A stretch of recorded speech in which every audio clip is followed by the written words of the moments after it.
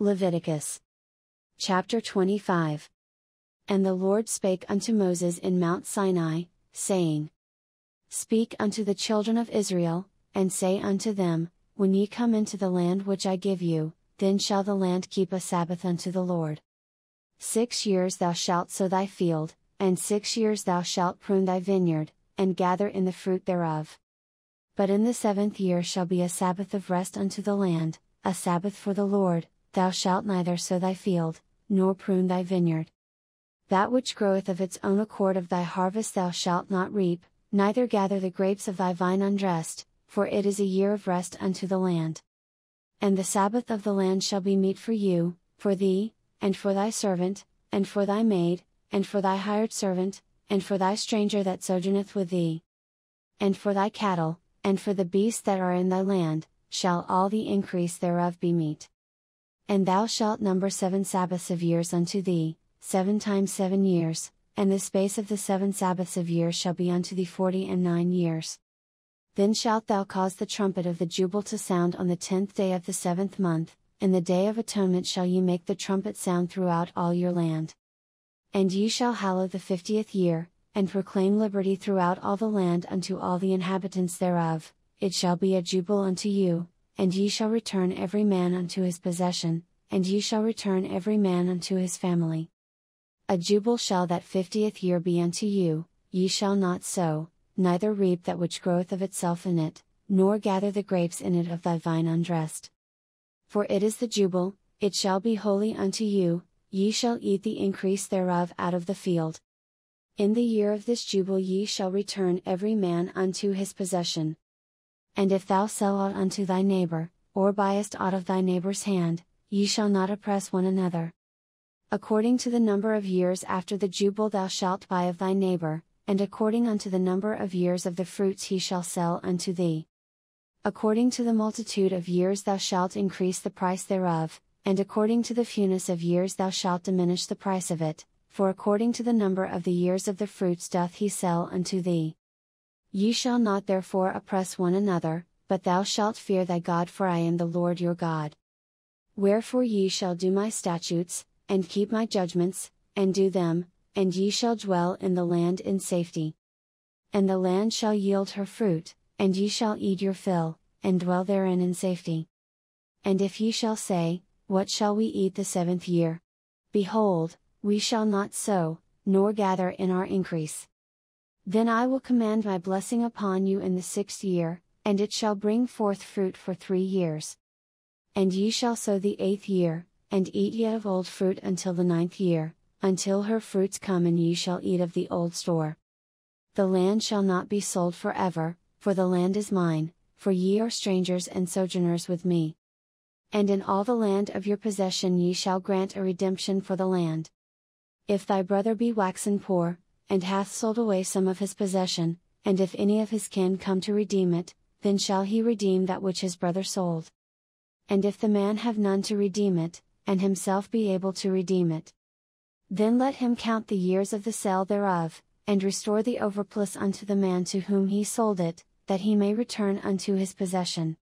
But if he be not able to restore it to him, then that which is sold shall remain in the hand of him that hath bought it until the year of jubile, and in the jubile it shall go out, and he shall return unto his possession.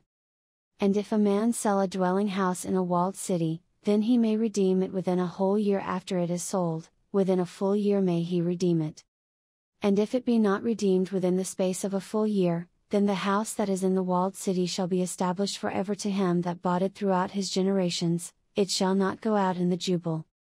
But the houses of the villages which have no wall round about them shall be counted as the fields of the country, they may be redeemed, and they shall go out in the jubile.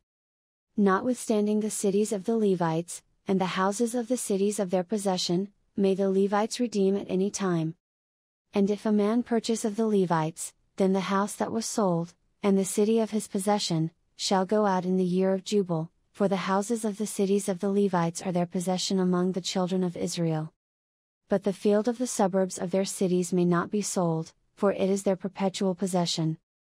And if thy brother be waxen poor, and fallen in decay with thee, then thou shalt relieve him, yea, though he be a stranger, or a sojourner, that he may live with thee. Take thou no usury of him, or increase, but fear thy God, that thy brother may live with thee. Thou shalt not give him thy money upon usury, nor lend him thy victuals for increase. I am the Lord your God, which brought you forth out of the land of Egypt, to give you the land of Canaan, and to be your God. And if thy brother that dwelleth by thee be waxen poor, and be sold unto thee, thou shalt not compel him to serve as a bondservant. But as an hired servant, and as a sojourner, he shall be with thee, and shall serve thee unto the year of jubile. And then shall he depart from thee, both he and his children with him, and shall return unto his own family, and unto the possession of his fathers shall he return. For they are my servants, which I brought forth out of the land of Egypt, they shall not be sold as bondmen. Thou shalt not rule over him with rigor, but shalt fear thy God. Both thy bondmen, and thy bondmaids, which thou shalt have, shall be of the heathen that are round about you, of them shall ye buy bondmen and bondmaids. Moreover of the children of the strangers that do sojourn among you, of them shall ye buy, and of their families that are with you, which they begat in your land, and they shall be your possession. And ye shall take them as an inheritance for your children after you, to inherit them for a possession, they shall be your bondmen for ever, but over your brethren the children of Israel, ye shall not rule one over another with rigor. And if a sojourner or stranger wax rich by thee, and thy brother that dwelleth by him wax poor, and sell himself unto the stranger or sojourner by thee, or to the stock of the stranger's family. After that he is sold, he may be redeemed again, one of his brethren may redeem him. Either his uncle, or his uncle's son, may redeem him, or any that is nigh of kin unto him of his family may redeem him, or if he be able, he may redeem himself. And he shall reckon with him that bought him from the year that he was sold to him unto the year of jubile, and the price of his sale shall be according unto the number of years, according to the time of an hired servant shall it be with him.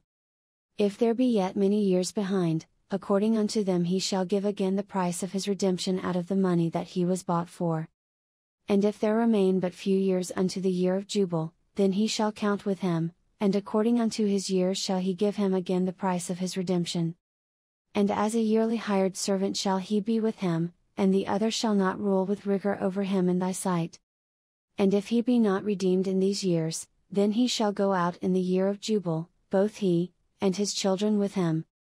For unto me the children of Israel are servants, they are my servants whom I brought forth out of the land of Egypt, I am the Lord your God.